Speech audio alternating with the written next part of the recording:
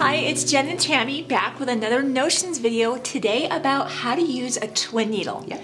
Now that was a completely foreign concept to me Yeah. till just a couple years ago. I'm thinking, why do you need more than one spool one needle. uh, at a time? um, because I was a quilter. So this was completely foreign to me. I didn't really understand the application until I fell in love with metallic thread. Love that And thread. the possibilities with a single thread are infinite. And then with a double, with a double uh, needle, you can be sewing with two colors at the same time, Yes. creating even more intricate designs. And Tammy just grabbed a piece of black fabric Mm-hmm. And just randomly grab two colors of metallic thread. And just look at this. I mean, you really almost Isn't made a new fabric It is a new fabric. that you can now make a bag out of. Hint, hint. Maybe there's some videos coming up in the future. Just subscribe to our channel, and that way you do uh, make sure you always know when we have a new notion, a new project, maybe a new bag using some metallic thread. Um, so. The whole idea is we have a lot of fun happening at Shabby Fabrics and we don't want you to miss out. And as we discover these new notions and it makes these world of possibilities of thread so fun to use, we, we're so excited. We have to share it. We, We have, have to to. share it. Now, these are sulky metallic threads, all of these. This is the Dream set from, uh, again, All Sulky. On this side here, this is the uh, Sulky Sliver Holoshimmer Original Metallic. This is what we call the Dream set. It is a this dream. This is the big box of crayons. now, behind us, we have, if you want just the Sulky Slivers, those are available as a set, or you could be getting the Holoshimmer as a set, or the original metallic, and or again, if you say I, I can't stand, I have to have them all, you'll be looking for This the is dream what I set. want. That's right. So the fun thing about using a twin needle is we can use two of them together. Like at Christmas time, I could be using a red and a green. Red and green. Maybe Fourth of July, I could be using a red and a blue. Red and blue. And you can really make your own fabric or Mm-hmm. perhaps em- embellish a project that is Oh, already done and just you want to take it to the Yep. next level.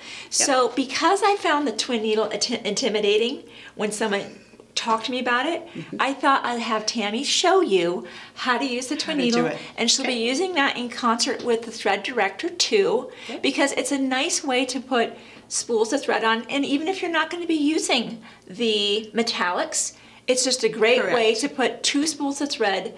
They're feeding the off at the right direction. Correct. so take us take us there Okay, Tammy. Perfect. Here we go. So we're going to attach this to our machine on our vertical spool pin or your bobbin winder. Either one, it will attach to either.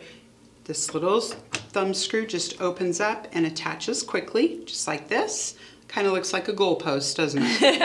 yeah I'm gonna take my end caps off and I wanna put my thread on so it's coming up and over my spool. That's very important that we do it that way.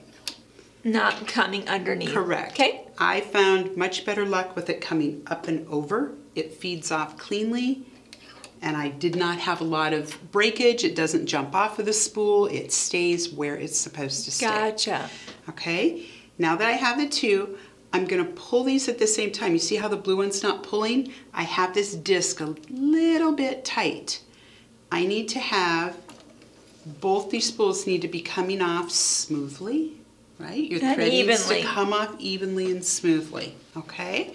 So watch your tension on your disc because you can snug that up. All right, so I'm gonna take my two threads and I'm gonna thread it just like it's one large thread in my sewing machine.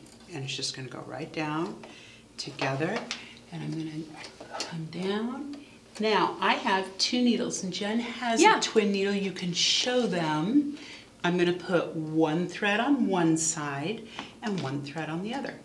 So you'll see while she's threading that, there's the single post, so this is gonna fit into, this is the Schmetz uh, twin metallic needle. This is specifically geared toward metallic thread. Now, Tammy, if somebody was going to be using other thread besides the metallics, I think this is still a great needle It's to still use. Still a great needle. So It it's is. not It'll it's not like you can't use threads. it. Correct. It's just specifically Correct. smooth into the hole where you're feeding in it. Right. So that that's going to have it's it's just so beautifully smooth. So it's not going to be cutting your metallic thread, which is of course more delicate than straight up cotton or any type of other um, thread that is kind of a utility thread for piecing quilting. quilting, So you can see can it's a a single shank thread. and then it splits off to the two. So she's got Okay, that. So I've got them threaded. Good job. Get this in here. All right, so I'm just gonna take a piece of black fabric and just sew on it and show you how much fun this really, I just, this was great fun the other day. It's like crayons, Oh, yeah. playground.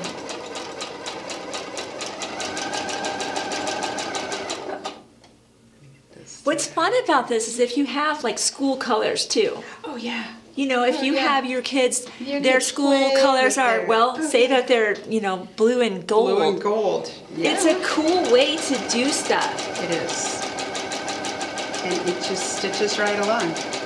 So what this is doing, you're thinking, what is happening to my bobbin, right? Your bobbin is actually a zigzag.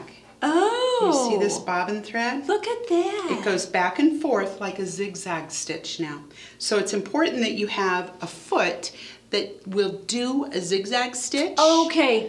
Okay. So not not one that's like for quilting that might have a Correct. really yes, small. You do not well, want a single course. stitch needle plate. Yeah, yeah, it's You not gonna work, big- of no, course. You want That bigger one makes on sense. there. Yes, you're gonna break a needle. Yeah, Okay. of course. So I've set this up to do like zigzag, but I'm just doing a straight stitch. Okay? How fun. And it just stitches right along. so don't Isn't be that fun? afraid to get No. that twin needle. Oh no, don't be afraid of it. There's Just really nothing to it. No, so if we get our easy. tension, you just make these even. Yep. Thread it, thread it through the machine as if it was one, one in each. one in each, and go, Go. and just play. So Done. get that schmetz. I'm I am totally gonna do this. Oh yeah, and you know grab those grab those threads we have a lot more projects coming your way We do. and you're, you're just going to have a lot of fun so thanks for joining us today to show you how to use a twin needle